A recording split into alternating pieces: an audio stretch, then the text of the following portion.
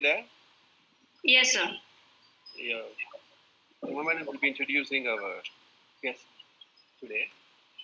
Uh, afterwards, Dr. Bindu will take over the session. Uma madam. Yeah. Good afternoon, ma'am. Good afternoon, everyone. Good afternoon. Uh, uh, nice, a great privilege for me to introduce uh, today's uh, guest, Dr. P. Himabindu, ma'am. Uh, madam is an assistant professor in physics and a postdoctoral research associate from the University of Surrey, UK. And uh, ma'am is a IQAC coordinator at Nizam's College, and she holds a master's and PhD degree in physics and also a master's in psychology from Kakatiya University, Warangal. Uh, she has a collaboration with HCU, University of Malaya, and University of South Florida and University of Surrey, UK, for her research activities. She also has a postdoctoral research at, uh, researcher at University of Surrey, United Kingdom. Ma'am is currently working on the synthesis of non-toxic nanoparticles for various applications of radiation uh, dosimetry, and her research interests are radiation physics, nanomaterials, physics and medicine, and biology, alternative energy, bioinformatics, and um, ma'am has visited and presented her research in USA, Malaysia, and United Kingdom as a part of career development. Uh, Madam has put in uh, 15 years of teaching experience both at graduate and postgraduate levels. She has an experience in teaching nanoscience, solid state physics, mathematical physics, optics, thermodynamics, uh, mechanics, electricity, uh, magnetism, and modern physics. EM theory is the most taught subject of her. She, she held the post of HOD at Nizam's College from July 2016 to July 2018. And ma'am has been uh, holding an administrative positions such as a coordinator for SWAYAM programs of UGC and also a con- convener for Women Empowerment Cell at Nizam College. She has uh, organized several uh, seminars and one international conference. As a resource person, she is, has a diversified knowledge in the areas of physics, nanoscience, psychology, and ICT tools, etc. She is also an active volunteer for Voice for Girls, uh, Ashwin Maharaja Foundation, and Planetary Society India. She actively participates in government education programs like TV shows, science exhibitions, etc. So apart from this, I personally had a great experience uh, attending the program of HRD UOH workshop on digital tools.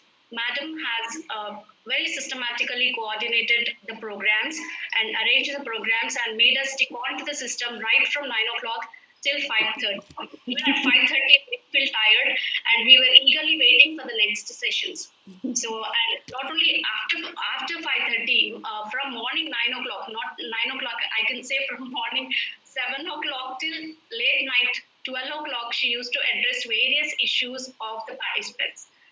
Was a great patience and uh, without any tiresome, she used to address all the uh, issues of the participants. And definitely, I hope today's session will be uh, very informative, full of information, and we would gain knowledge through this session. And thank Elliot sir for giving me this opportunity and hand over the session to Bindu ma'am. Thank you. Thank you so much for your nice words and good feedback, ma'am. It gives so much of encouragement and motivation for me. Yeah. Uh, sir, is my screen visible to everyone? Uh, it is visible. Yes. So, um, as per the request of your IQAC coordinator, Mr. Eliad, uh, today I would like to talk about the importance of assessment and accreditation for higher education institutions. A very good afternoon to everyone, all the teachers out there. I know everybody is more senior, like is everybody is a senior person here, but yet because of the online experience what I have in in my college and in the other colleges as well, I would like to share a few things which are useful for your institutions as you, uh, sir told me that you people are trying to go for the next accreditation process, submission of SSR, and also the peer team visit. So hope my presentation or my words would encourage you people and you will succeed in achieving a good grade for your college, not less than A. All the best. Thank you, ma'am. So I myself am Dr. Himabindu and Uma ma'am has given me given a very long introduction about me, like what I was or what I am, what I'm doing, and all these things. Um, so currently my position is IQAC coordinator at uh, Nizam College, which is a constituent college of Osmania University, Hyderabad. Okay, so I'll start uh, with this question, which is like a bit interesting to everyone. The question is, do you recognize this? Um, can can few people turn on their microphones and tell me what it is?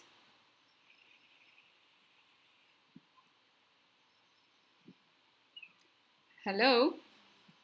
We are not able to see. Taj Mahal, ma'am. Taj Mahal. Taj Mahal. Somebody is not able to see. Please pin my video, ma'am. Please pin my name. You can see my video. Okay. Um, everybody, I mean, Elliot sir, please help them if Yeah. somebody is not able to see the screen because I am Yeah, just, showing good yeah, yeah. slides which are very important for them to understand how it looks like. So people, uh, please, uh, Bindu madam name will be there. Just uh, click click on that. So you're able to see, will be able to see the screen. Please Okay. click Dr. Bindu madam link there. Yes. sir. You're able to see, madam? yes, everybody, everybody, is my screen okay? Okay, ma'am. Right. So recognize this monument. Please tell me what it is. Taj Mahal. Somebody was saying. Is is it is it Taj Mahal? Is everybody agreeing with the word Taj Mahal? Looks like that. All hundred percent yes. Yes. Yes. So Madam. you might be thinking, who is that foolish person who will not know this no- monument? People might even wonder why I have asked this question. But I'll tell you, can you recognize each and every monument? This is what I'll ask you in the next slide. Please see this. Look at this one. Do you know this college? Do you, uh, I mean, do, do you recognize this thing? No. No. So out of all the participants, how many participants are there, sir? Like 30? 34 are there. Yeah, 34. minus one, So, 33. is there any person, any single person who will identify this college? This is a college from India itself. Taj Mahal is from India, and this college is also from India. Okay, right. Keep this question for you. I'll go to the next slide and then we'll continue with our discussion. Yes. Can you identify this? Osmania University. Yes, Osmania. How many people say Osmania University? Everybody or like ah, half? Everybody. Yes. Arts college. Yes, Osmania Arts College. So this is also one college from our country, uh, which is Osmania Arts College. But everybody could recognize that. But the other college, nobody could recognize that one. What is the difference between the three slides which I have shown you? Like the first one, which was Taj Mahal, the second one, which was a college, third one is also a college. Is there a difference in identifying these things? And how did the difference come from? The first one, the first one is one of the seven wonders of the world. Even I too have voted for it. There was a competition, like a poll, uh, choose the seven wonders of the world, and I have voted for Taj Mahal. Yes, it is seven wonders, one of the seven wonders of the world. And uh, there are only very few people who do not recognize that monument in the entire world. It is that popular. The next one was some college. So I have taken that picture from uh, a college in Gujarat, which is a college, some college, and nobody knows it. Even if I show the logo, emblem, gate, everything, people will, will not recognize that college. So, what is the difference between Cha- uh, Taj Mahal and this college? Popul- Popularity. Yes, popularity. That's the word. So please, please note that word. Keep that word aside. The third one is Osmania University or the arts college Osmania, you, you could say, like you didn't say this is OU, you didn't say this is OU logo or some symbol of OU, but you said arts college in specific. So this college in the entire Osmania University has a special recognition. So in the Osmania University, if I am showing you other departments, maybe College of Engineering or uh, Microbiology department or, or uh, Chemistry department, you would have like ah what is this? Is it the one which i saw? Blah blah blah. But when i showed you arts college in specific from osmania university you could easily recognize that this is arts college osmania university. So this also came from the popularity. So I, I don't say this is as popular as taj mahal but for our country arts college osmania university is definitely popular i can say. How did it become popular? Is it because of the um, riots or uh, the Telangana movement? Or the Mir Osman Ali Khan? Or the garden? Or the building? Or the structures? What is it famous for? So you know, you, you better know what is it famous for. Yes, Osmania Arts College is uh, good at academics. There are several streams of uh, social sciences, humanities in that, and languages also, so many. Uh, we have a bank in that, and we have something like a jail, a prison also. Yes, it is famous for all these things, but it became more popular in the country because of the Telangana agitation, Telangana movement, freedom movement, which was happening in front of the arts college, and this made arts college reach every common public. Okay. So somehow good or bad somehow popularity is the thing or publicity is the thing which is make us which is making arts college being identified or taj mahal being identified by people so do you need i mean uh, does narendra modi need any um, what you say like introduction by somebody saying this is narendra modi and this is uh, prime minister of india no because he talks on Mann Ki Baat and he reaches all the nation and everybody knows him. Almost everybody knows him like he is the Prime Minister of India, Mr. Narendra Modi. So, popularity is what it matters and popularity comes through publicity, through communication, through showcasing and how we will do that and what is the link between this popularity and accreditation I'll I'll tell you in this slide. So we are talking about accreditation. You can read the definitions of accreditation. What are the goals of accreditation? But this accreditation, it has a link with the popularity. That is, when you are saying Taj Mahal is one of the seven wonders and it's being uh, popularized or it, it is accredited by majority of the public as one of the wonders and then it has become popular. So that is how our institution or your institution also becomes popular with your accreditation. So may not be NAAC accreditation, it may be something else. So somebody else also can accredit it. But because NAAC is a body associated with UGC, we are speaking more about NAAC and we feel, we personally feel that the accreditation process of NAAC is authentic or it's very good that we trust the grade. So we cannot say like ah okay somebody might be giving a grade a plus grade and i don't care about that. Even if this institution is a c grade that's okay. I don't i don't uh, worry about the scorecard or the grade things. I'm i'm just an easy person. I don't say like that or you don't say like that. You or me or we we all trust this society or this institution called as NAAC N-A-A-C, National Accreditation Assessment Council.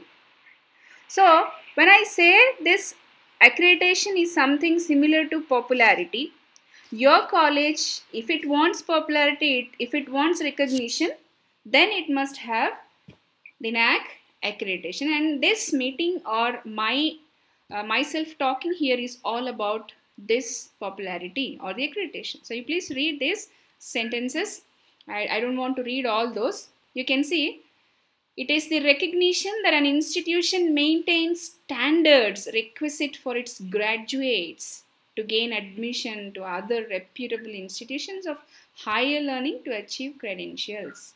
And what is the goal? Goal of accreditation is to ensure that education provided by institutions of higher education meets acceptable levels of quality. So you, you please go through this slide and I'll tell you. When you say the goal of accreditation is to ensure that education provided by institutions of higher education meets acceptable levels of quality. So what is the acceptable level of quality? So what do you understand by acceptable level of quality?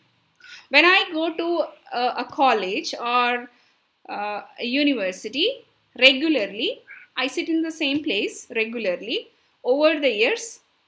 I don't find it like there is some fault with the institution or I don't think that okay my institution is lagging behind or I don't think like there's no quality in this and all. Why? Because I get habituated to the same place. It's like our own house. You live in your house, you never go outside. You don't find like I have to renovate it or I have to paint it, I have to clean it properly, I have to change the curtains. All these things we don't feel. But when you start going outside and checking other uh, luxurious flats or you check others' houses or some other construction, some offices, then you might feel like, oh, okay, this is how others have improved and I should change. So you change, I mean, you come back and you renovate, you change, you feel happy, you feel fine. But is that enough? No, it's a continuous process. So the same way your institution is also like that, like like your house. So you don't feel that you must bring some changes in that or you don't feel that it's below some quality level. But who will tell you that what is the standard quality level and how you have to maintain? That job is NAAC's job. So to tell you in the standard of quality so they they give certain metrics which we call it as qualitative metrics and quantitative metrics. So NAAC is going to tell us depending on those metrics where we are standing. I mean where our institution is standing among other institutions of this country not the world. Uh, for your information NAAC is not going to give you any grade globally. It is going to give you only a grade compared to india so according to Indian standards, they have set up a certain standard levels which are acceptable by majority of the higher education institutions. It's not you and me who are accepting. It's like majority of the institutions accepting. So when they are accepting, these people have put a score for each and every metric and depending on the score, they will decide where you are, like your CGPA. So if you have your like 10th 10th class or inter, intermediate children for you. You know what is cgpa and how the grading system is how it works. So the same way our institution is also being graded. And why do we need grading? This is what i told you. If i am sitting in my house all the time i never compare myself with anybody then i don't improvise myself. I think this is fine and i am good and all. I don't improvise myself at all I don't think about hygiene also. But when I compare with others, I know where I stand, what is lagging, and to my abilities, to my capabilities where I can reach. It's not the same as the other person, but to my abilities where I can go, I can start improvising myself. Also, like while writing an exam, you and me, we are writing some exam. So while writing exam, if there are no marks for the exam, it's easy for you. Like you may apply fee you just go for attendance you write something whatever you like. If there is no barrier like for 30 marks you're pass and sorry 30 marks you're fail 40 marks you're pass for 60 you're first class and for 70 you're distinction. If somebody does not put any kind of mark there you and me we are not going to read anything. Absolutely we will sit idle We'll pay the fee, whatever it is. We might even go to the exam also. But If there is no target, we will not perform well. So this is the same thing with the accreditation of higher education institutions. If this NAAC did not put any kind of uh, score barrier like a grading, our higher education institutions, I bet, are not going to perform properly at all. What if we don't perform? Yes, there are uh, many of my beloved colleagues or my friends who will say, Why should we? For what? Especially you, you and me, we both are from government. You are in a government college, and I am in a government college, and we feel okay we have a government job and we are we are earning more than 1 lakh 6 digit figure that's fine we are blessed people we are fortunate why should we do any hard work? For what? For whom? So this is the question many people ask me and they even suggest me. Like everybody is not working why do you do? But that's not the uh, correct thing my friends. It's not the correct thing at all. I'll tell you why it is important for us teachers to work properly for this accreditation and how this accreditation is going to help your college and also help the other stakeholders of your college and where it is going to lead us. So you might find it a bit like hard thing to listen to what I am speaking today, but I am speaking the truth because I am in that system. Like your IQAC coordinator, Mr. Elliott, also will know what what is like to be a IQAC coordinator and how it is uh, going to be with uh, SSR and uh, peer committee visit and with grade also. So if you understand what it is, that's very good. I'm very happy for you. But if you don't understand that, I just uh, advise you i will not request you because okay that's not my institution so i'm not going to request you but i'll advise you for the next one hour please listen carefully to what i am speaking and also watch my screen you will understand what is the value of accreditation NAAC, grade and why we should work for our stakeholders okay friends uh, let us see let us go to the next slide. But before that, you can see there are several accreditation accrediting agencies. Then NAAC is one of such agency. Institutions request an agency evaluation and that meet an agency's criteria are then accredited by that agency. So here in the place of agency you put the word NAAC. So NAAC is our agency and we are paying money to NAAC. It's more than 1 lakh I guess. Uh, because ours is autonomous college we have paid so much i think uh, your gdc begumpet is also paying something like that so they will pay to NAAC and they'll say you please come to our house assess our house assess our house members and give a rating for our house. This is what we are asking. NAAC is not interested in coming and giving any accreditation to you but you yourself want to stay in the competition. You want to showcase yourself to others that yes we are still there we are existing. We are not somebody like extinct institution. We are in the race. You please come to us and show to the world that we are there in the race and at what place so this is how we request NAAC indirectly by paying them and this agency or the NAAC is coming and it will see whether this agency's criteria or the NAAC's criteria is being met by the institution and then this agency, the NAAC, is giving us some accreditation like A, A++ or something. So what are the advantages of this accreditation? Accreditation is important because it helps determine if an institution meets or exceeds minimum standards of quality so I told you some minimum standards. So what is that? Some minimum standard which is approved by majority of the higher education institutions. And how these higher education institutions approve it? From the feedback of stakeholders. So I'll come to that point. Who is our important stakeholder and who has to approve all these things.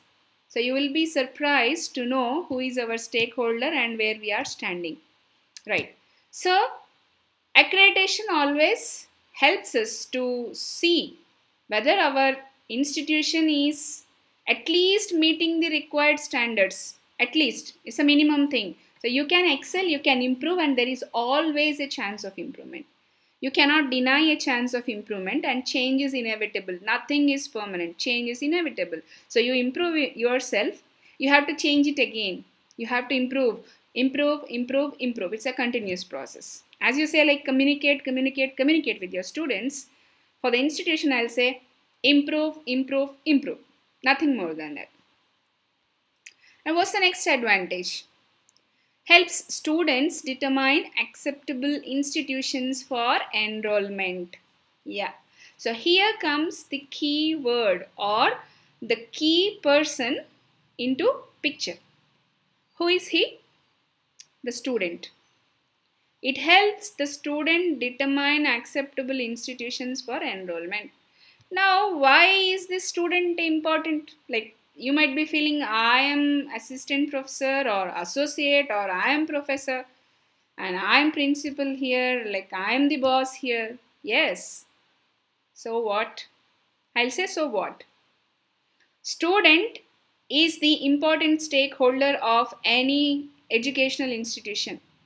I, I, I don't know whether you agree with me or not, but that's the truth. That's the fact. No students, no institution. Agree with me? School, junior college, degree college, PG college, technical college, university, everything, everything runs around whom? The student. You have students, you have jobs, you have vacancies, you have buildings. For them, you construct labs, you extend, you eh, like you try to excel. Grade is also for them. You are trying to get accreditation for the students to know which college to choose, which universities to choose. And if the student is not there, your university or your institution is just a zero. You might have super facilities, everything fine. But if there are no students, if there is no enrollment, what is our fate? For us, like we are fortunate that we are into government. Ours is government job. We are good. But for others, for temporary jobs, is that a good thing that there are no students? What about future? Do you expect any kind of uh, recruitments further if there are no students? I have worked as a degree college lecturer. Like for two years, I have worked. Um, my first appointment was in Tiruvur Government Degree College, which is uh, near to Khammam. And my second appointment was at GDC Huzurabad, so which is just near to Warangal, my native place. So I worked in both the places and we were about to go for NAAC in, in both the cases also. But that uh, there we did not have this online thing. We had this offline thing. But when I saw there, you know, our fate was every June, like June or July, we would collect data from the nearby junior college, like who has passed which subject so because I'm a physicist, so all our science teachers, uh, physics teachers, maths teachers and chemistry teachers, especially physics and chemistry, physical science teachers, we would distribute the sheet who all have passed in MPC in intermediate. Take the sheet, go to nearby villages in, in, in auto or car or whatever possible way. Speak to those students, collect them go to their houses, meet their parents, counsel them saying, we degree college faculty have come to you to show ourselves, these are the faculty, our qualification is like this, we are PhDs, we are this, we are that. Our college extends in this area. This is so big, we are giving these facilities. You please join your child in our college. Do you expect this? I don't think so because you are in city and you don't need this. But the people who are outside the city are doing this in villages, in rural places. So I asked, I asked one of my seniors, my, my in charge department head, why are we doing this? I don't need to do this. We are degrading ourselves. We are, we are teachers, we are faculty. and we are not going. I'm not coming with you, I said. You know what he said? You are thinking about yourself, but if students are not there this time, CCE will come to know that there are no students in that group, and in the next year they will wind it up. So there will be no group, no group like MPC or no group like MPCS. And then what happens, you know? They will transfer you to some other place and there will be no recruitment in this college again. So thus, if you are not going and bringing the students, you yourself are putting uh, yourself into trouble. And the next thing is, you will be the reason for lack of recruitments in our college. This is what he said. And the fact was really shocking, but yet it is the truth. And I had to accept it, approve it. So that case is more clearly visible because it's in a rural area and the admissions are less. But what about us? You know, there are private universities right now. What if the people are choosing, what if the students are choosing private universities? They get scholarship anyway. They go anywhere, they get scholarships. What if the students are not choosing our institutions? Just, just think for yourself for a while. We are going to face the same thing as I faced in Huzurabad or Tirupur and we are the reason for it. Okay, our bellies will be full, we'll get food, but we are spoiling our uh, the future of this institution and also of future generation. Yes, we are doing it. Please. Next. Assist institutions in determining acceptability of transfer credits. So, this is like uh, you know the transfer of credits like UGC has approved transfer of credits this year. Now if somebody is coming from some other institution like some girl is wanting to come from GDC Khairatabad, uh, sorry GDC Begumpet to my college, to Nizam college. She is bringing some credits, she will say like I want to transfer. But I want to know whether your college is an authorized college or authentic college or like is it a reputed one or something like dummy. I want to know that. So in that case, your accreditation will help me know what is the level of your college and then I can accept. See, I cannot accept uh, uh, credits from a gradeless college, from a nameless college, right? So if you are like, if you are also B, B++ or if you are A, A++ and you're coming from, the, you're transferring your credits from there, then I'll be happy. Like okay this child has brought credits from that institution means that institution maintains standards and that standard institution has given credits to this boy so boy or girl. So those are authentic grades and I can accept it this is what we think something like your uh, sweets if somebody brings sweet box with a label Pulla Reddy. Will you say like what quality or when did they make or did you taste them? Do you ask all such questions? No, I don't think you will ask. You'll say like, ah, okay, G Pulla Reddy. Good. Immediately open the box, put something in the mouth. There is no quality check because we know that that shop is an authorized shop it has set up its own standards and we believe that there is quality in its product. The same with our institutions. If I bring a sweet box to you without any label, there is no label on that, it's an empty sweet box, there is no name, I bring it to you, then what you might do? Like, should I open it or not? No, it's corona time, I'm not touching. Okay, if it's not corona, what you will do? you might smell it first, taste it next, and then sometimes you may even not touch it because you might think this person might not have the standards. You don't know whether they have standards or not, but because there is no label, there is no accreditation for the standards, you might think that this is not authentic. This is not good and I am not touching it. We say like that. See, while taking a mobile phone, what do you say? What do you say? If I bring, like I myself, you know, so many of you know me. like as Dr. Himabindu as from uh, Nizam College or currently organizing programs with University of Hyderabad. Yes, I have a name. But yet, if if I show you some some mobile like this and say like, okay, uh, this is what I am authorizing and I am giving you, please buy it. Will you buy my mobile? Without any label. I'll just come and I'll give you know me, but yet I'll just give you. Will you buy that? No. But if I show you the label, look at the label here. If everybody can see this is, can anybody tell me what is this label? Anybody? iPhone. Yes. Now what's this? Yes. You see the symbol, there is no name here, but you just saw the symbol and you could tell that this is Apple iPhone.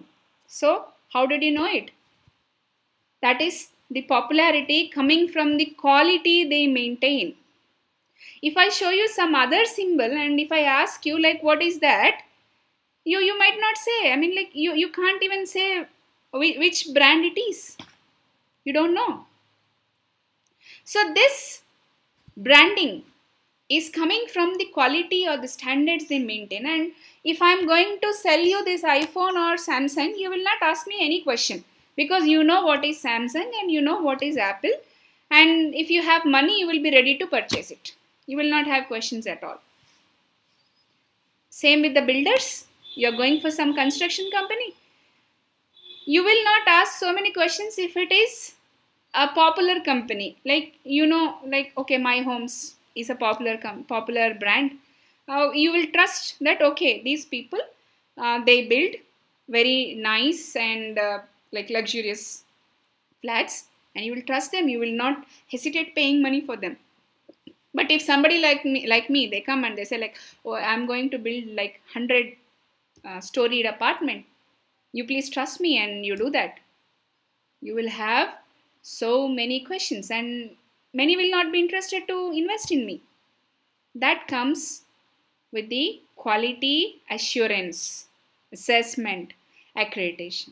So hope you you understood what is the value of accrediting anything.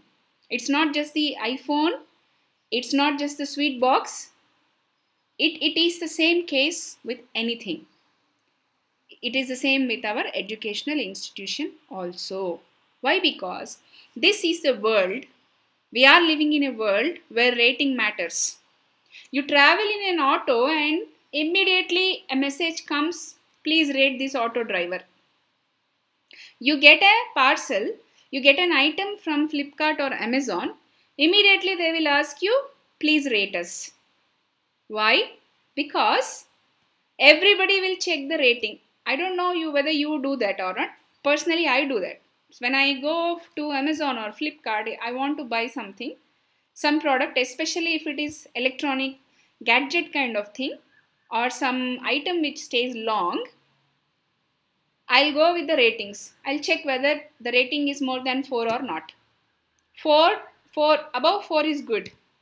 But if it is below 4 no certainly not. Even if he is giving for uh, like 80% off or 90% off still i will not go for the product. So rating plays a vital role in choosing a commodity in purchasing a commodity.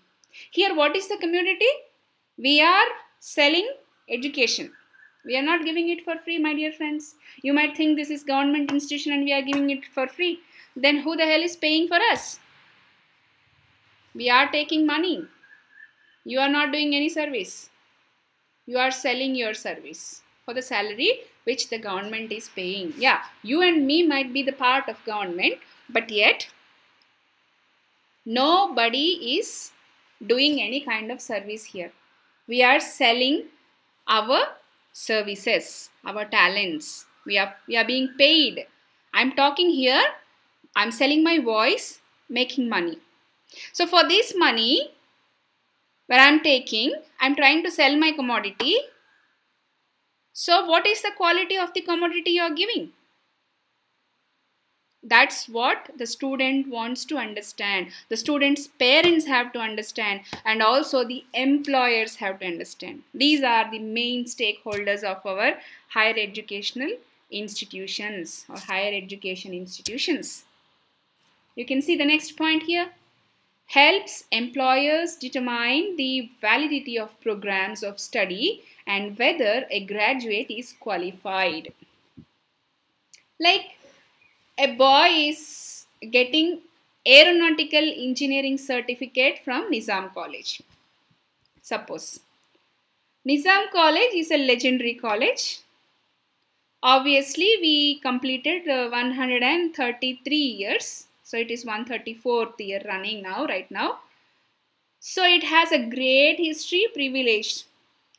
So if somebody is taking aeronautical engineering degree from my college and they're showing that okay I did aeronautical engineering from Nizam College. Will the employer believe it just like that? No. He will go to the website. He will check with the website. Go to Nizam College site and check whether this course is running or not. And he will find that there is no aeronautical engineering in this college. So, for him to check on the website, when he will do, when he knows that Nizam College is a reputed institution of standards, then only he will check. You tell some name. I'll say like Himabindu's College of Air Force. Who knows? Nobody knows. So if somebody is saying something like this, they will not even care to check whether this college exists or not. But if the college exists and it has a good name and if he is intending to take the student, then he will go to the website and check for the courses. And if the course is existing in that college and the weightage is more for the student. So here the student is being benefited at the end. Okay, employer might be getting a help with accreditation and with all this popularity but who is the end person being benefited? It is the student. So students are temporary. We might think like students are temporary. Each year like thousands of students come and go but we are the permanent people here. So we are the strongest people or we are the main stakeholders but no students come and go they are temporary but they are the important stakeholders. The any educational institutions, as I told you, it stands, it works, it exists only because of the students, only with the students, and only for the students. So, this is the word I want everybody attending this meeting to understand. We as teachers are not working for ourselves and our family. You are earning for your family, but you are working for the students. There is a difference. You are earning money for your family and for yourself, but you are working in a higher education institution or any education institution for the sake of the benefit of the students, which are the very, very important stakeholder of our institution. So hope you are clear with the advantages of accreditation. See the last one. Employers often require evidence that applicants have received a degree from an accredited school or program. So now by now you must have uh, known the difference between program and course. So earlier we used to say programs as courses but now they are different like BA is a program, BSc is a program, MA is a program. So from school, school is department. Like if you see University of Hyderabad, they don't say Department of Physics, they say like School of Physics, School of Social Sciences and all. So school is uh, like department, your program is the code in the modern days. So any employer might require the evidence that this degree has been obtained from an authentic institution. So that's how this accreditation is helping both students and employers. Then helps employers determine eligibility from employee tuition reimbursement programs. So if uh, the student is going for internships and if they want to see whether he is eligible for any reimbursement, your institution must be accredited. So he, it also helps like that. Graduates to sit for certification programs involves staff, faculty, students, graduates, advisory boards, institutional evaluation and planning, creates goals for institutional self improvement. This is the very important advantage I can tell you. It creates goals for institutional self improvement. Friends, please understand this word self improvement. Who is going to improve you? Who is going to bring a change? Nobody. I will talk here, but I am not coming to your college to make you uh, sit for so many hours, do the work, or uh, use ICT for your students and do some innovative programs for the development of students and all. No, I'm not going to do all these things. I might say you have to get A grade or A plus grade, but I am not the one who is going to get the grade for you. So who is doing this? It is you. Institution itself. Who is institution? Institution comprises of employer, employees, stakeholders. So who is the employer here? Like your boss, maybe the principal or the RJD or somebody. Employees, teaching employees and non-teaching employees. So you have all cadres of non-teaching employees, one, two, three, four. Everybody, everybody makes institution for that matter. Even, even our Kamati also makes the institution. Teachers, all grades of teachers, whether they are full-time teachers or part-time teachers, assistant, associate, professor, everybody. All these people, they make the institution. But this institution will not be called as institution until you have students. If you don't have students, it's an office. if you have students, then it is an institution. So for this institution, it has to check for improvement. That's what I was telling in the beginning. When you say what is the key for uh, getting in touch with the students or to make them learn properly online, the key is communicate, communicate, communicate. And the key for any educational institution to put itself in a higher note is improvement, improvement and improvement and nobody else is bringing this improvement but for you. So the institutional itself is making improvement. So hence we are calling it as self-improvement and you can put some goals. Like I can put a goal like by knowing the NAAC thing. In NAAC it will ask like do you have NIRF? Do you have ISO? And do you have this AISHE login? Did you do that? Uh, do you have NBA accreditation? So it will ask all those questions. So when it is asking, I'll put a goal for myself like, yes, by next year, I'm going to get ISO certification. Okay, in, in so and so month, I'm going to apply for NIRF. Okay, AISHE login. Did I do that AISHE login? No. Okay, I'm doing that AISHE login. So, these kind of things like you are going for accreditation and the accreditation criteria itself is helping me to improve myself. So me in the sense it's not Nizam College friends, it's every institution. It's, it's even GDC uh, Begumpet. So I'll say now onwards when I say me, myself, please take that word as GDC Begumpet. And who is GDC Begumpet? It is you. All the staff of GDC Begumpet is GDC Begumpet. All the staff. So everybody in that teaching and non-teaching have to involve yourself as the institution on whole. Like institution is an embodiment and you are part of it and it cannot be detached. It's not separate. So you think yourself as an institution and please check with whatever I am showing on the screen right now. If I say self-improvement of the institution, it is your improvement. It's my improvement. So if it is my institution, I say it is my improvement. For that, what, what do we need? For self-assessment, what do we need? What do we need to do? This is the best, best slide I like. So very nice slide if you can see 360 degrees evaluation. 360 degrees evaluation. So who is going to be evaluated and why 360 degrees? Just just wait for uh, 10 seconds and you please answer me. Like give me few answers.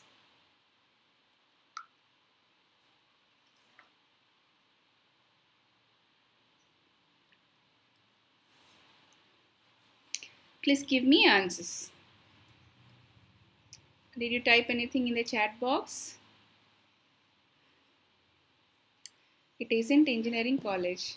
Reputed degree, PG, MBA, NCA college.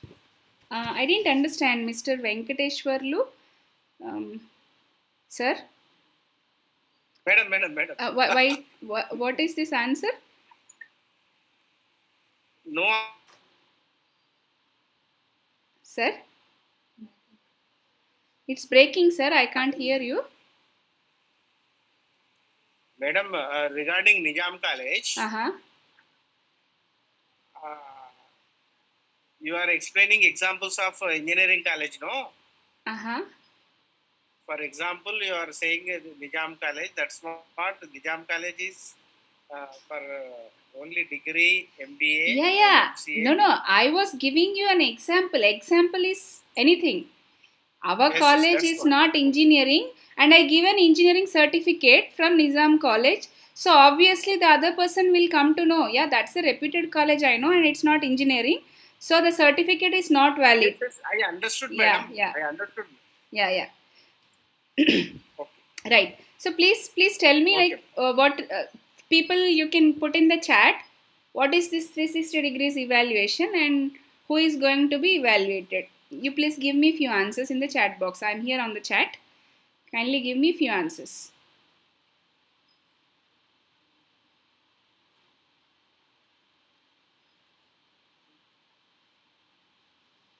Nobody is giving any answer. Why? Sir, uh, is everybody there or only few people are sitting? Every activity of the college, Yeah, yeah. all these stakeholders, share the screen. Unable to see, madam. Yeah, yeah, I, I'm not Yeah, sharing they're the not used screen. I'm not sharing the screen. they're not- Sorry. Yeah, I need to find a chat and all because they're not. No, no, I'm I'm on the chat. I'm not sharing any screen. I'm on the chat box. I'm checking your chat box. Students ISO NAS NAC can evaluate. Everybody is there. All the activities by students do. Every achievement of the college. So when I said uh, students are the important stakeholders, so the answer is coming as all the activities which students do. No, that's that's not just students, but uh, everybody is there. Yeah. Geeta, every activity of the college. Right, right. I'll go back to my presentation and I'll start this. Uh, is everybody able to see my screen? Yeah, it, is, it has come up. Yes. Yeah.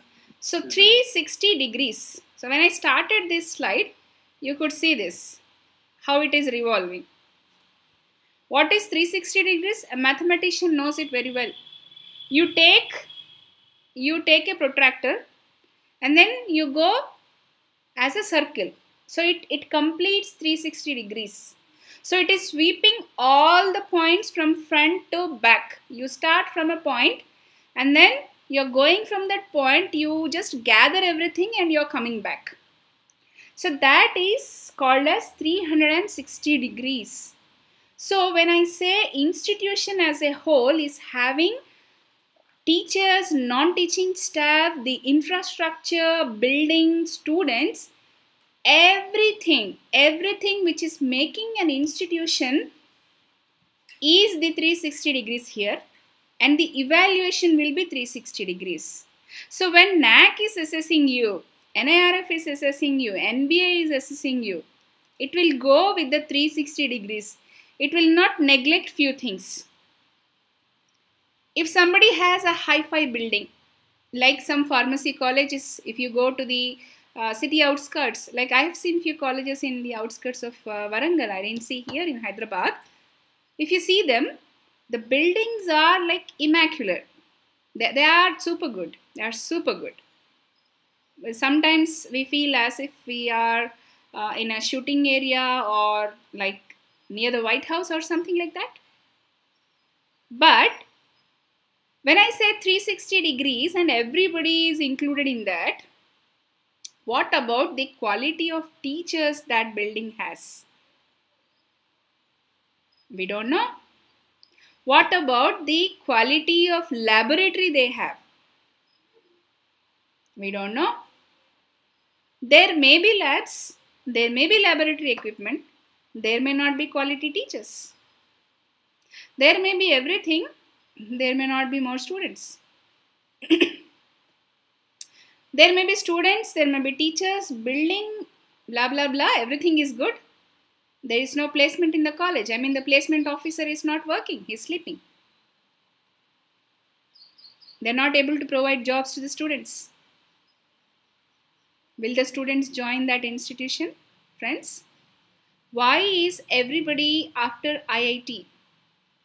Why is IIT a dream for all the engineers? Because of its placements. You, you check that. It's not because the professors are too good in teaching they are joining IIT. It is because of the 100% placements which IIT assures you with a good salary. Again, I'll tell you. You give 100% placement, but what is the average salary of your student who is going out? If it is 5,000, 6,000 or 10,000, we don't want it. In the present day, do you think 10,000 salary is good for you? Is enough for you? Would you allow your, your child to join a job for 10,000 rupees? Even if the grade is looking like manager, if the salary is just 10,000 rupees, will you allow your own child to join for that? No. So, when I say placement, and for placement also there is a quality. Where they are being placed. Are they being placed in IBM, Maruti, Wipro, Infosys? Yes, it matters. Or are they being placed in Himabindu College of uh, uh, what you say technology? Who knows? Who knows this himabindu college of technology? Nobody? So even if you are showing something what is the quality of that? You are showing some career opportunity for the child but what is the quality of that this is how 360 degrees evaluation is taking place how are your benches how are your boards do you have any uh, projectors with you uh, do you have smart boards? Are you using still using chalk? Is your wall painted properly? Is your student happy with that? Did you provide proper washroom facility for the child? Did you provide sanitary napkins to the girls? Everything. Everything counts, my friends. Everything, everything, each and everything. A tiny weed in your college also counts. Because the disposal of your weed, disposal of grass, disposal of waste paper, that is also coming under your NAAC assessment and there are marks for that. They're asking like are you doing anything like vermicompost? How are you disposing your green waste and plastic waste? How are you doing this? Are you doing any kind of recycling? There is, there is marks for this. So when I say 360 degrees, yes, this is 360 degrees. You just start from the earth, from your ground, from the gate of your college. You start from the gate of your college. You just check with the entire compound wall, all the trees in your college, the dust, the garbage, eh, your, your benches, everything, everything comes under 360 degrees evaluation. So now hope everybody is clear what is coming under 360 degrees evaluation. When I said garbage, you should understand what kind of things are coming into assessment. Why? Assessment. I'll tell you the importance. How do you feel of anticipation when you are about to take a quiz or test? So you are about to take some quiz, some test. I don't know how many of you have participated in competitions, but I myself have participated in several competitions. Especially, I was doing this quiz so many times, uh, talent test exams and all for the district. And it's like what is the next question? Am I ready for the question when you are in the quiz? But if you are just preparing to participate for the quiz, you don't know what kind of questions they will ask. But they might say like this is a science quiz. So the area is only science. It's not uh, history and all. Everything is not included. You are safe up to that. So in your science area, you have to be thorough with each and everything. When they said science, science is very broad. You have life sciences, you have physical sciences, you have mathematical sciences. They can ask anything. So you have to be thorough with all these things. Get prepared, and you will be still like, what are they going to ask? Am I prepared for this? Am I ready for this? And all. That is the feeling like when you are going to take a quiz or test. And why are we doing this? Why do we why do we need to attend for a quiz or test? Because we know that this world is full of competitions and if I am winning, if I stand first in this competition or if there is a prize money for this quiz, I am going to win it. This is what I feel for myself. So in this world full of competitions, so this assessment is something like a quiz or you are going for a test and you have the excitement you have the uh, like super anxious feeling sometimes you may also fear what if we are going to get a lesser grade than the previous one this is some sort of doubt that goes in the brain of you know whom the IQAC coordinator and the principal for others they'll say like okay we are trying our best to give the data and we are doing this we are doing that so it's up to the coordinator how to present and it's up to the principal how they treat the peer committee. They think like this, but I'll tell you what, what is the real secret. At later stage I'll tell you. Now this world is full of competitions and if you are participating in a quiz or test, then only they will recognize you. Otherwise, you are nobody. You are not enrolling, you are nobody. You may get a last rank, you may not get a prize at all, but still you have to enroll yourself in this quiz or test. This is mandatory because the world is full of competitions. Without competition, you cannot succeed, you cannot achieve, and you have to do it. Mandatory. Now,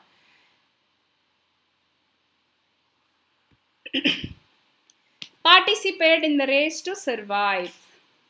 So you have a race and you have to participate in it just to survive. Who is surviving here? Who is surviving and uh, who has to help in surviving?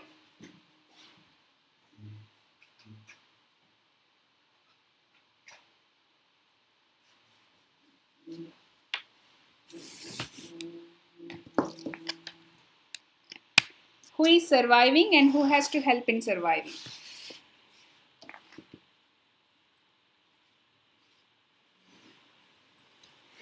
As I told you, it's our institution, my friends, who is surviving.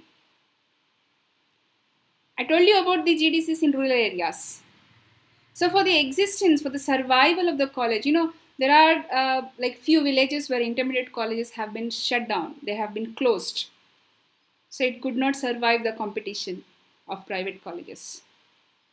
There are few degree colleges which have been closed.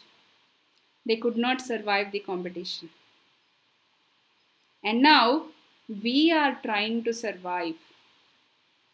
Yes, obviously. If we cannot prove ourselves to be good, efficient, capable, we are out of the race. We do not enroll into the race. You will be placed nowhere. You have no place at all. Just go out. Just get out. This is what the government says. You just think for yourself. Like, if you stand as an authority, or your child is going to enter GDC Begumpet, what is the criteria that you want to check with the college? What is it that you want to uh, be changed in the college?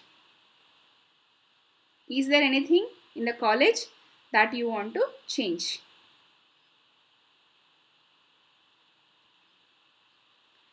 So, this is how you have to think for yourself. You have to feel for yourself. What am I doing?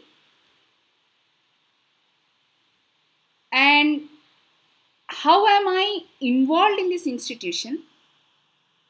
What, how my participation is going to bring a change in the institution? How is it going to help them? And how my failure, how my laziness is bringing a damage to the institution, and how my negligence is going to make the institution quit from the race. Now, in the present day, in the present world, we are in this phase, my dear friends. Get ready for the assessment or quit. So, you want to go for the assessment, then only you are surviving. Your institution is surviving. If you are not ready for the assessment, you have to quit from the job. You have to quit from the race. So it's not you alone, but your institution has to quit. As I told you, when I say institution, please attribute to yourself personally because you add all these components together, it becomes an institution. Institution is not a single entity on itself, on its own. The buildings, the teaching staff, the non-teaching staff and the students, they make the institution. So here you please attribute itself to yours, uh, to yourself participate in this race to survive, get ready for the assessment, or just quit. What is the current day need? Why we are speaking of current day? Because we are in the current day. Friends, we, it's not past or it's not future. We are talking about the current day. So, present day. As I told you, please think as a parent for a student like where you are trying to seek admission if you are seeking admission for your child, what will you do? For your child, I am very sure you will try to check for all kinds of facilities that you are going to give at home, whether everything is available with this with the college or not, right? Please see this. Please see the first statement. Please read it. Higher education institutions have experienced increasing pressures to provide accountability data and consumer information on the quality of teaching and learning. So if you have seen your AQAR, the present AQAR, like it has been modified again in the month of February AQR has been modified again. Almost your AQR is like your mini SSR now, right now. Earlier AQR was a different pattern. SSR was a different pattern on a whole. But now as AQAR is just a mini SSR for your academic year. So, okay, that's even better because you make AQAR and you compile all the AQRs and it's something like your SSR. It's not changing. It's, it's much easier to compile. That's good. This mini SSR is asking you each and everything. How much money did you spend for books? How much money did you spend for ICTs? How much money did you get from projects? How much money did the like you get from funds? How many seminars you conducted? Where did your staff go for training? Did you Organize any faculty development programs. How is your staff's knowledge on IPR? Did your students get any placement? If so, where did they get? Please get the feedback from their employers. Are the parents happy with the your children's performance or like your institution's performance? These kind of questions are incorporated in the AQAR and yes you know teachers are even fortunate because they get only few questions like uh, seminars attended workshops attended. Please say whether they are they have presented oral or poster. Uh, do you have any publications? What is the h index? Blah blah blah. But for the IQAC coordinator i know what what the coordinator is doing. We are writing several things. As I told you, we write about the garbage. Are we disposing it properly? Is it a, what we are doing with the wet, wet garbage and we are, what we are doing with the dry garbage? How much electricity are we sa saving? If anybody is interested, you can go through our NAAC Bible, which is our guidelines, NAAC guidelines, SSR guidelines, and you can check each and everything, whatever I told is true or not. And if you still don't want to read, you can ask your IQAC coordinator, yes, whether they are whether these questions are there in the SSR or not. Yes, my dear friends, NAAC is asking all such questions. They are asking us how many units of electricity you have uh, consumed in one year and how much did you pay for that. And did you use any LED bulb, LED tubelets? How many did you replace from the uh, traditional ones? and how many solar panels have been installed, how much energy did you save? This is what they are asking us. It's hard job. It's hard job for the institution. Your principal knows the difficulty when we are answering all these things. It involves a lot of money. Where this money is coming from? It's our job to pull up money, get fundings. How do we get fundings? If we have a good grade for the college, good ranking, then we can pull up money. It's just interlinked. You have good grades, you can pull up money. You have so much money, you have good facilities and you get a good grade. It's just interlinked. So we have to plan what to do. Now here, the higher education institutions are experiencing increased pressure. Why? Because of the private institutions what we have and the number of institutions what we have and also the uh, want the desire for improvement always. Like everybody needs improvement in everything. Like when when somebody is coming to an Nizam college suppose or GDC Begumpet suppose. Like after 20 years if they are coming and they see the same building okay it may be nostalgic but the students will think like ah it looks it looks too old. I'm not interested in this. I don't feel enlightened. It's not like it's not giving me any kind of motivation. This this happens. So you have to check for the current day need. What does the current day need from us? So who what is current day? Absolutely it is students. What do the students need from us? This is what we have to check. I think as the parent of a degree college or a pg college student please you will understand what we need and what has to be changed in the institution. This is the best way to assess ourselves. You don't need any kind of assessment. NAAC doesn't need to assess you. You assess yourself as a parent of a child and you will know what are the pros and cons in your institution. Whether you will join your child in the institution or not. If somebody is asking like, can you join your child in GDC Begumpet? Can you say yes? If you say yes, your institution is doing good. If you say, no, no, no, I'm not joining her here. I'm joining her in CBIT. I'm joining her in University of Hyderabad. Then you need to rethink where your college is lagging and why you are not preferring your college. So hope you understand what I am saying.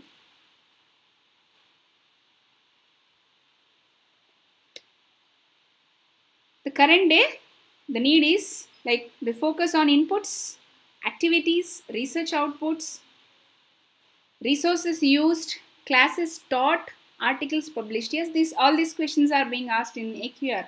So all teachers know what is being asked. So apart from this, whatever I told you, everything is being asked.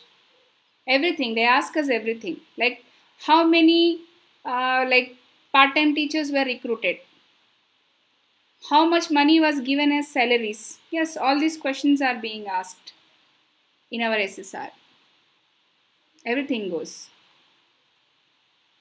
Advertise and market yourself. So because we are government institution we just take it for granted like we don't need to go out we don't need to advertise in tvs we don't need to uh, like give a mouth mouth uh, conversation for anyone we think like that. So i don't need any canvassing and all. But this assessment accreditation we are going for that just to advertise ourselves and also market ourselves. Why marketing? I told you. Education is a commodity right now. It's not just a service. It's not just a service because money is involved. It's not free. So when it becomes commodity the commodity is going into the market it has to go into the market otherwise there's no use of the commodity. So it needs marketing it needs advertisement. Government institutions are not exemption my friends as i told you. Government in because this is government institution okay let me give a grade or a plus grade. No Nothing like that. You are standing in a race along with others, in a same race along with others. You do not have any privilege, any government institutional privilege as we had. We did not have that privilege at all. We just stopped at 2.98, which is very sorrowful, just very bad. But we have no choice. Our government institution is not an exemption from the current day competition right quality is very important compared to the quantity.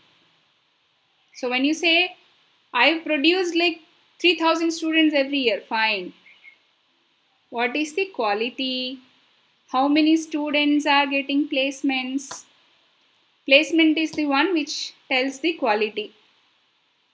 Right? Say just teachers getting awards and so much research funding and all these things doesn't make any institution so much desirable if the students are getting 100% placements with a quality placement as i told you like if they are being placed in big big companies and they're getting good salary on an average like you see the average monthly salary of the students is like 30000 40000 yes everybody will want to go to that institution like the iits where the average month salary is something like 80000 90000 a month what is the quality when you compare to the quantity. Coming to the accreditations, we have these type of accreditations. You know all these things, UGC, NAAC, NBA, NIRF, AICTE, all these things. Not only this, we have 20, total 20 and sometimes more also, but I know some 20 types of accreditations.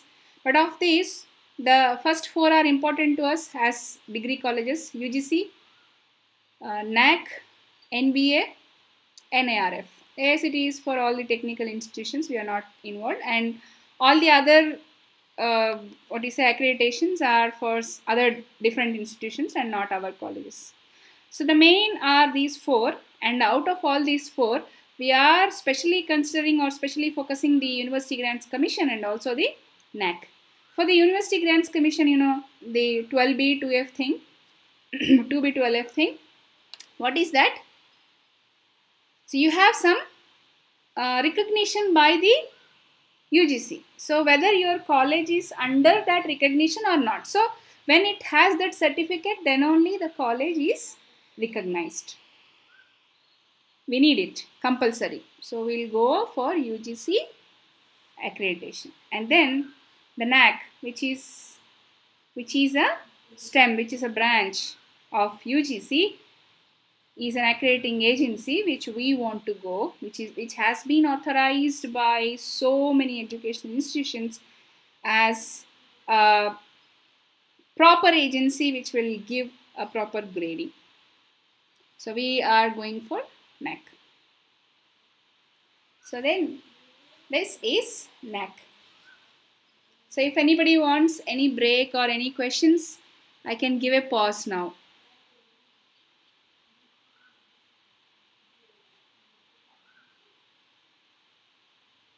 Anything? Uh, Dr. Bindu, Yes. uh, can you stress a few points in each of the criteria, maybe of to later Yes. probably? Yes. So shall I continue?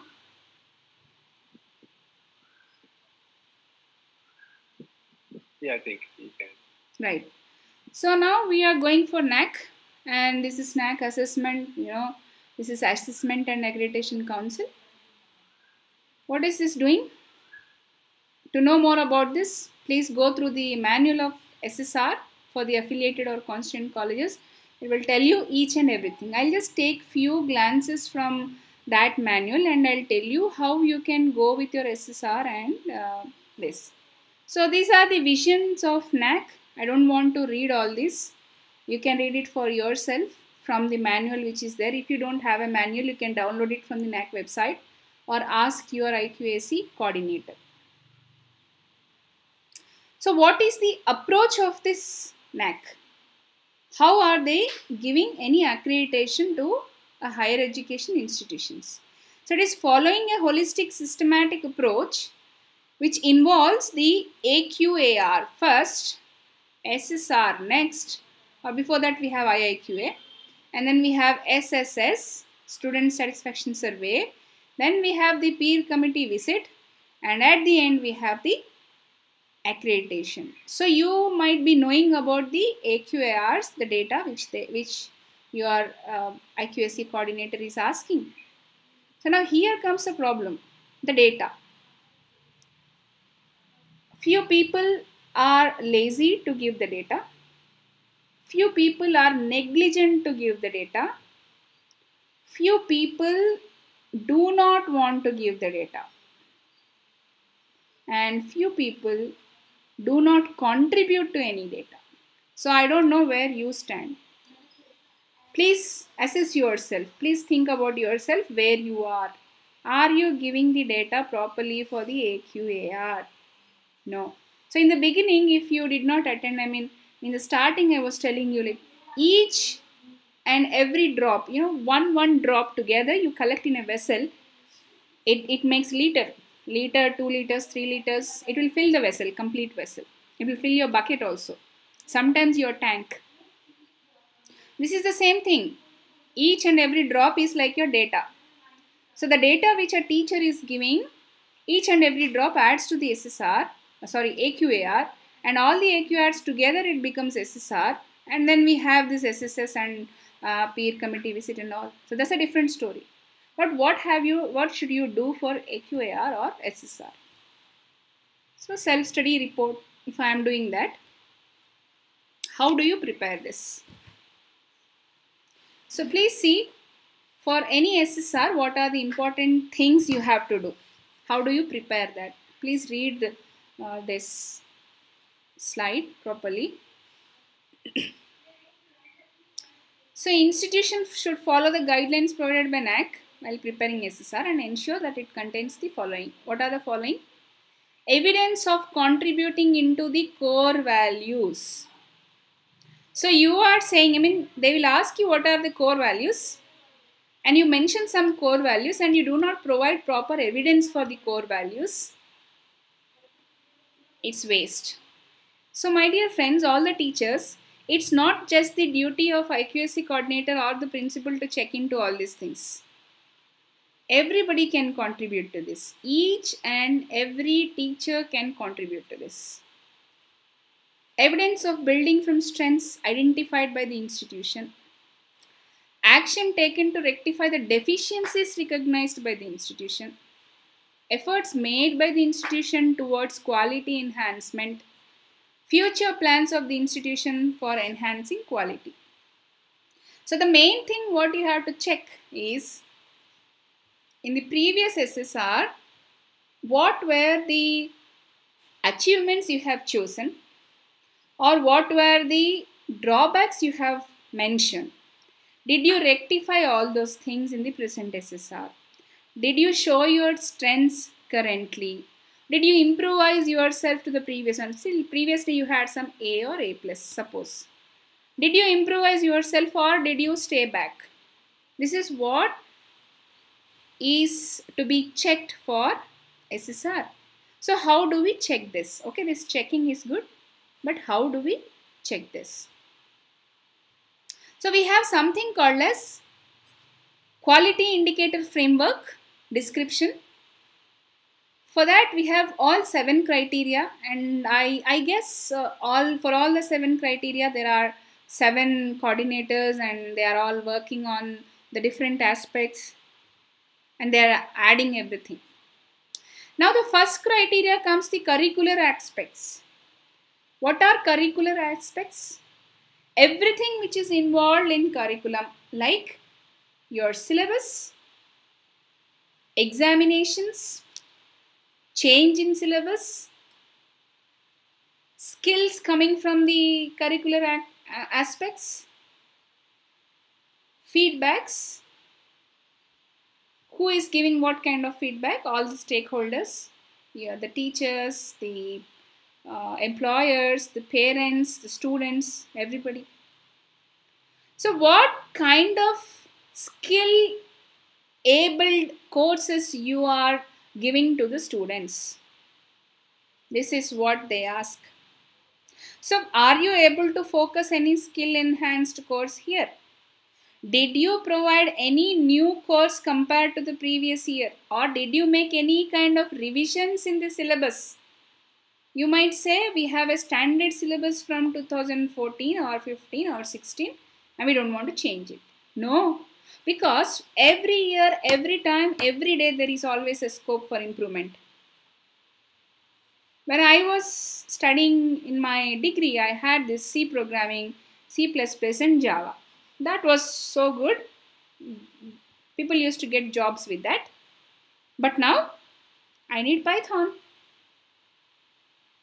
I need something else I have to improvise myself so what is the improvised thing which you have given in your curricular aspects if you did not give until now at least now in the new year now this is the new academic year try to put it in front of your board of studies please try to bring a change in the syllabus.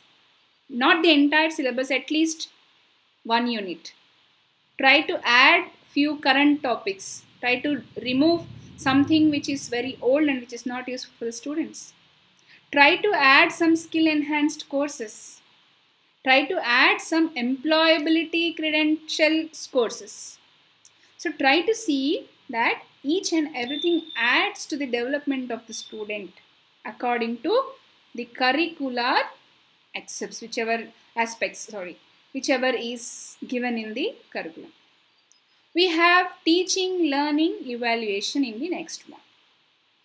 So you know what is this? How the teacher is teaching? What kind of uh, modes he is using to deliver lectures? And how he is creating a learning environment for the student? And what kind of facilities infrastructure are provided by the uh, institution? And how you are evaluating? Like the mark system. So if you're an autonomous college you have to tell like are you using any online grading system or cgpa system or are you doing something physical? Do you have any innovative practice in the examinations and all? You have to show all those things. Otherwise no. We have research innovations extension. This is exclusively research innovations are exclusively for teachers. yeah, you can involve your students as well. If you have PhD students or even your projects works, even your student project works can be involved in this. Like if this research is being awarded by any uh, specific agency, you can mention that.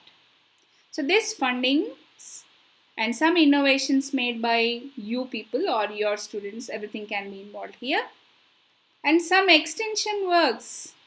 What are extension works? Just not in the college and just you are not just sticking to the curriculum. You are going beyond the curriculum and you might also go beyond your college. You might also go to some other college. That is extension. So you are extending the knowledge or you are extending the curriculum of your college or extending the facilities benefits of your college to some other um, some outsiders some institutions then that comes under your extension activities friends you cannot neglect any of the criteria here see you have seven criterias here you cannot neglect anything you cannot omit anything. Every criteria is compulsory. And teachers just say, I've seen like teachers saying, I don't have any data for this year. Oh my god, what is that? So for one complete year, what were you doing? Just coming, writing on the blackboard and going away. Is that what you did? No? This is not approved. This is not correct. What you are doing isn't rightful. That is injustice for the institution and for the college. Please check with the criterias. Infrastructure. So infrastructure is provided by the institution itself. But you know, institution in the sense like the principal. The principal will not know everything like you need benches or you need um, some computers, etc. etc. It's the duty of the faculty to give a representation to the head. It's the duty of the head to go and ask the principal, and it's the duty of the principal to get the funds. So everybody involved in this infrastructure thing, in the administration thing, it will fetch you marks. It will give you marks. You give the requirement for the seminar library books. Teacher will give to the head. Head will give to the principal and principal will get it. So that is how it works. There are marks for each and everything. Each and everything for the books you purchase, for the computers you purchase, for the labs you establish, for the ramps you give, like for the disabled children you are um, providing a wheelchair, it has marks. For the disabled children you are providing ramps, you are, you are constructing special toilets for them. It contains marks.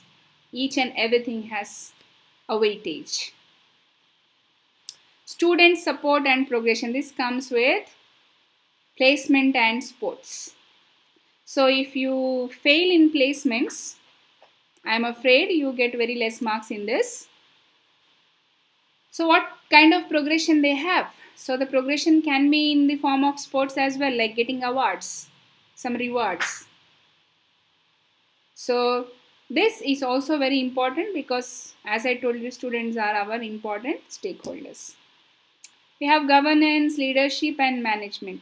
So people might be thinking this governance or leadership or management is has nothing to do with me. It has all to do with the administration. No, you yourself, a teacher, are a leader. You are a leader for yourself. So the contributions what you make can be added to your AQAR the departmental AQAR and that can be added to the institutional AQAR. So that is how you focus or you showcase yourself. This is why I was telling the teachers are important in this NAAC accreditation, in this AQAR, in this SSR. You should not think that we, we just gave all our uh, publications list, workshops, this, that and the others, it's finished. No, you add to each and everything you add to all the criterias you add to all the criterias See, in curricular aspects also the first one a teacher can say like okay see we have this outdated syllabus and we need a new one maybe like next year people may say okay we don't need to read about the previous plague but now we have to incorporate this covid thing into the syllabus into the history yes so the teacher can bring that kind of change. Government need not act. You can give a representation and the government gives instructions. Going to the institutional values and best practices. These things are also defined by the teachers. They can give their own best practices if they are doing something. Like I'll tell you one of our faculty members, he has put a box called as idea box in his department. When I went to, I mean, I, I go on visits sometimes to departments. I went to his department and that there was this box. Instead of suggestions or grievances, the box was idea box. The student, if he is getting an idea, he can drop an idea in that box and that head of the department will take out that idea and he will try to implement it with the help of other students, with the teams. That's great. That's the best practice. So like this, what are the uh, things which add value to your institution, additional value, added value, and what are the best practices that can be practiced inside the institution to get good grade. This is how a single teacher, each and every teacher can think of, he can contribute to the department and all departments make the institution. And this is the distribution of metrics and key indicators if you can see. So see the, we have all criteria, seven criteria for everything. For universities, autonomous colleges, affiliated constituent colleges. You have seven criteria for all type of educational institutions. There is no exemption. But the key indicators are different. You can see universities and autonomous colleges have the same key indicators 34 34 whereas affiliated colleges have less. For the UG it is 31, for the PG it is 31. So because there is a difference in the infrastructure and funding and uh, several factors, these key indicators are less in number for affiliated or constituent colleges. So that way you are fortunate I can say. You have qualitative metrics, you have quantitative metrics. So how many metrics are there? For quality it is 35 metrics, for quantity it is 58 metrics and totally it is 93. You can see for a UG government college the total metrics are only 93 which is very less compared to the other things.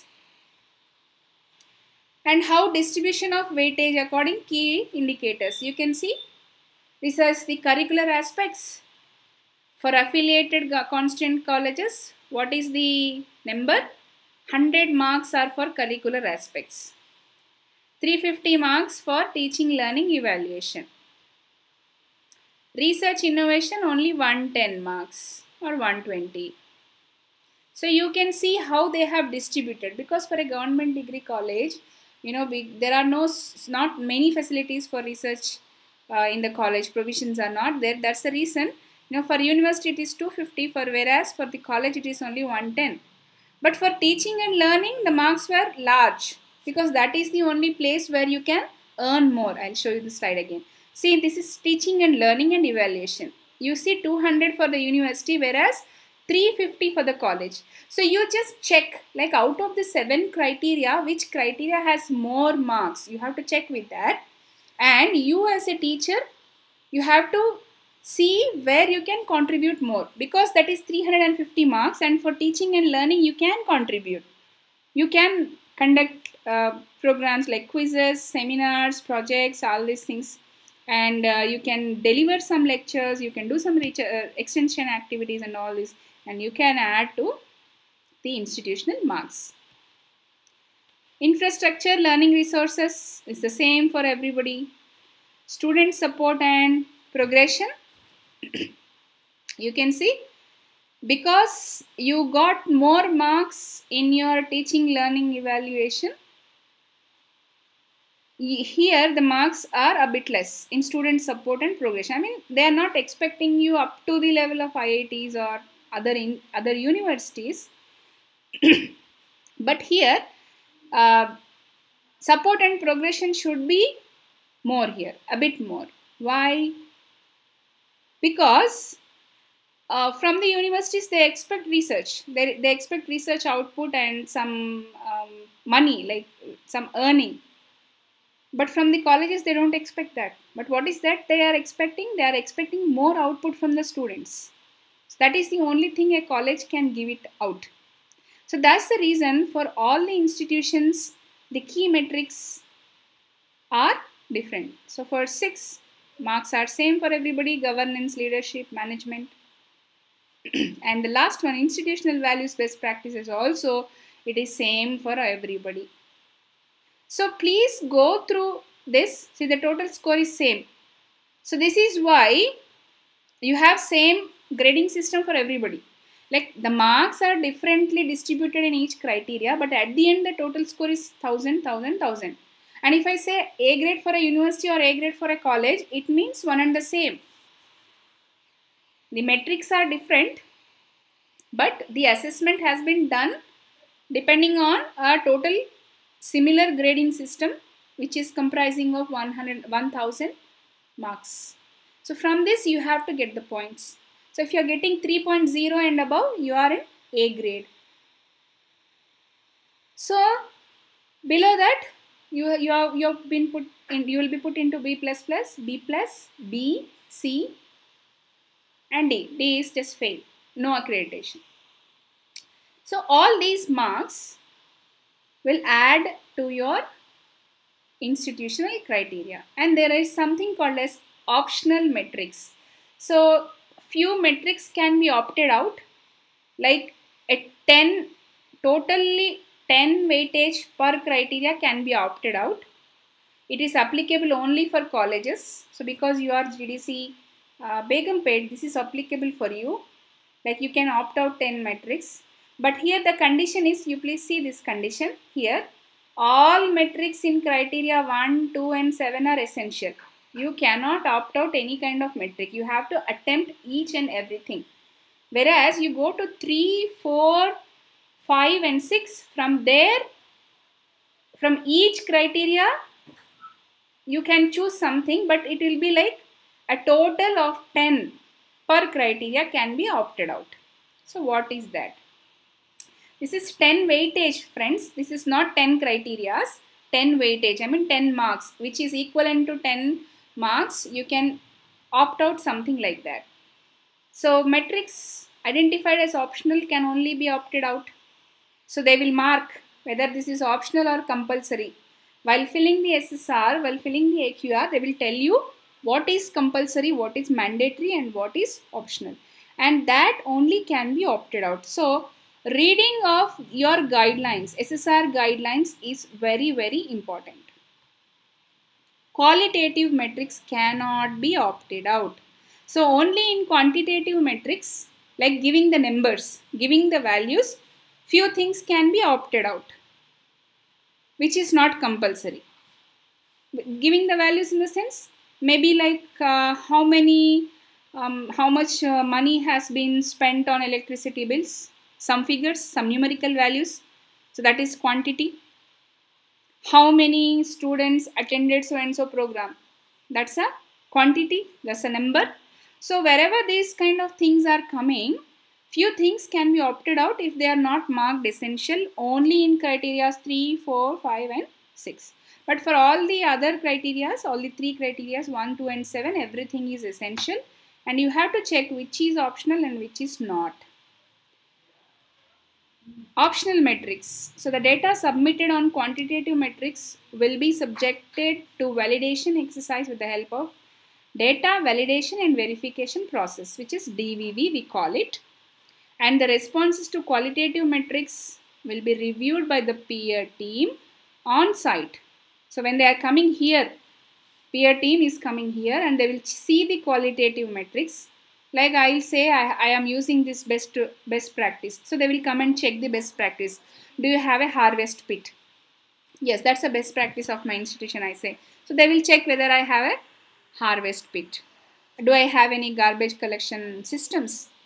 Is the uh, what you say ambience of the college proper or not? Do the children have proper transportation facility? Is the gate proper? Like are, can they enter properly and all? So yes peer committee is going to check all these things. But this happens only after the institution clears the pre-qualifier stage. So the institution has a pre-qualifier stage which is SSS. So it should have like, it should clear the DVV process. It should go with the SSS. It should qualify with the SSS. And when it qualifies both DVV and SSS, then only the peer team comes to or like visits your institution. Assessment and accreditation process will proceed further as per the following conditions. You can read the conditions. I just don't want to read all those. you can see. So this is the process, like the sequence of process which will be followed by the NAAC committee to visit your college.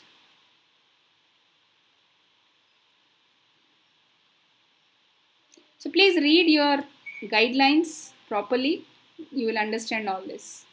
So you have SSS, which is student satisfaction survey, which is very important. You will have a questionnaire. For colleges like you, it is only like 100 or 10% of the student population, whichever is less. So you can get those many responses for SSS and you are qualified. That's it. And this is the table showing the institutional grades. So what are the grades? You can see here. For A, it is 3 above, like 3.01 to 3.25. B plus plus is here. B plus is here. So this looks like a small value, but when you show the matrix, this value is very big. The small change here, the small difference of like 0 0.2, 0 0.1, 0.3, this, this is very big when it comes to the value of metrics So when you start calculating the uh, score for you or for your SSR depending on the metrics you will understand how hard it is. So you can calculate for yourself, my friends. It's not just the job of IQAC coordinator or the members to do all these things. Individual teachers can go along the SSR guidelines, the NAAC guidelines, and they can also see what are the things they can contribute to the institution. Especially the IQAC coordinator's role here is to motivate, encourage the teachers to understand the process of SSR and accreditation and also encouraging the teachers to provide all such kinds of data. If they do not have one, they have to make. I mean, they have to get that. What are the things to focus? What, what will you focus on that? First, focus on the criterion wise marks weightage. Who will focus on the criterion weights weightage? IQAC coordinator will anyway focus. He in turn will tell the teachers where to focus, where we are lagging, where the score is getting less and where we have to improve. He will tell and all the teachers have to further do accordingly depending on the criterion wise marks weightage. As I told you in teaching learning evaluation we had more marks like 350. So you can focus on that criteria to achieve maximum marks leaving the other things. So just look at the weightage and then work accordingly. And communication is very, very important with alumni and parents. So you please uh, do that because when the peer team comes, they will have a meeting with the alumni and parents. And if the feedback is going bad, you are going you are going to lose your grade for sure. So please do that. So this thing can be done with the teachers also. Teachers can start talking to students and their parents at, at the ground level first and uh, alumni also if possible and college can conduct alumni meetings parents meetings to get good score updating website and continuous feedback system. So this is very very very important. That is you have to update your website college website and you have to get a continuous feedback system. There should be a feedback link which will give you feedback continuously and not just taking the feedback. You have to act accordingly. What remedies you have shown what improvements you have shown. And student satisfaction survey is also important thing to focus so because this is a continuous process what are the things involved in the continuous process you have identification of stakeholders development of communication strategy development of communication uh, schedule then implementation, control and continuous adjustment. So you do all these things. This is for any organization. This is a continuous process. It doesn't stop. Your NAAC, SSR or accreditation, nothing stops. It's a continuous process. So from past we have come up to here. We are looking into future